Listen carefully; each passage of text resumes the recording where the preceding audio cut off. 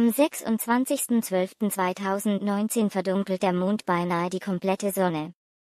Leider ist die ringförmige Sonnenfinsternis von Deutschland aus nicht sichtbar. Wir verraten Ihnen, wie Sie die Sophie dennoch sehen können. Außerdem, die nächsten Finsternistermine.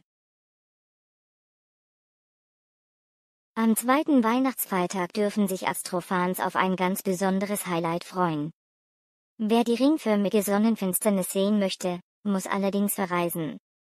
Wir verraten, wie Sie die Sophie von Deutschland aus sehen können. In den frühen Morgenstunden des 26. Dezember 2019 schiebt sich der Neumond vor die Sonne.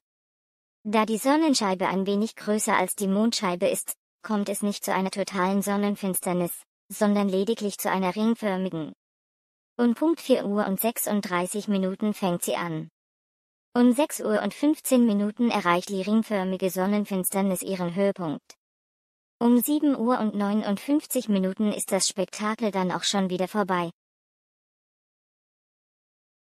Leider ist die komplette Sophie von Deutschland aus komplett unbeobachtbar. Wer die ringförmige Sonnenfinsternis live vor Ort sehen will, muss dafür in östliche Gefilde reisen. Von den Vereinigten Arabischen Emiraten und dem Persischen Golf zieht sich das Himmelsschauspiel über die Südspitze Indiens, Sumatra und Borneo und endet schließlich im Pazifik.